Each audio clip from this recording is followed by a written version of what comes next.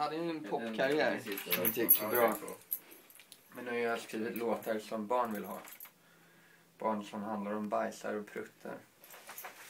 Om gulliga katter. Och kängurusnuttar. Nej. Ja.